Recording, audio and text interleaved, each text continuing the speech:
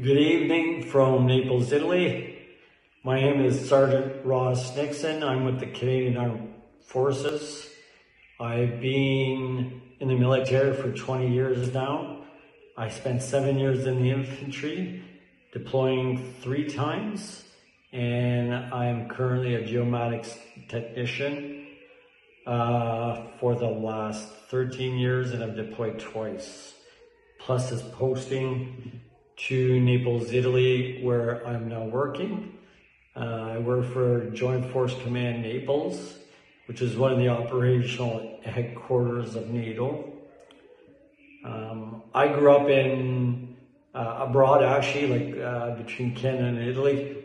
My father was in the Canadian Air Force, and uh, I did a bit of time living in Italy, and then traveled in Canada uh, my house now and my kids grew up in Arnprior, Ontario. Uh, they went to school. Um, they thrived in that good little community. Uh, right now, uh, like I said, I'm in Naples, Italy, and uh, working for NATO has been very interesting. I work with 30 other countries, plus several partner countries.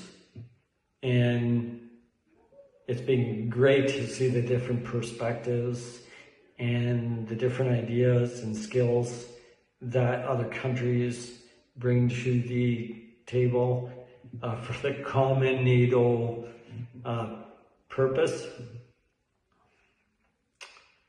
My office has uh, different countries working there and it's been really good uh, you have to understand it is a challenge to bring together so many different countries speaking so many different languages with so many different cultures, but uh, it does work.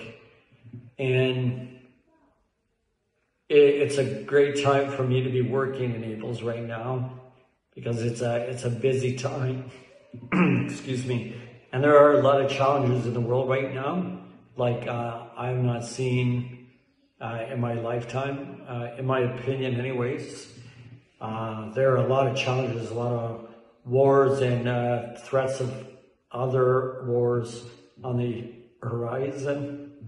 And uh, we really need to keep in mind what's going on in the world. It's so easy to uh, just focus on our own lives, but there's there's a lot going on around us that can affect us and our children. So it's important to know a little bit about what's going on around us. I was asked the question, how do you go about living your best life? Um, that's a great question. And I think, especially in regards to, like I said, all the uncertainty that's happening right now around us, uh, it is important to have this balance between zooming in to things in life to tackle those daily challenges, but also to be able to zoom out and see the big picture.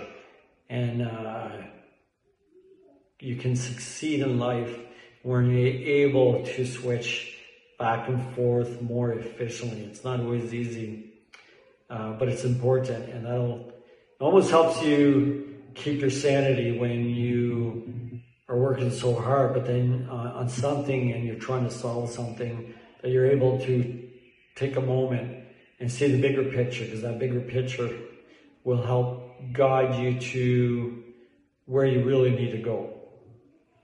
Um, again, like I said, I, I really do find these times quite challenging and um, I think uh, it's important to stick together and, and not not just focus on the little things and on ourselves, but really reach out to others. Uh, that that's a huge thing. So, uh, one last thing, I know it might sound corny, but I really like the saying, uh, "Be the change you want to see." So, to me, that's that sums up uh, how you can live your best life. Okay, ciao from Italy. Thank you.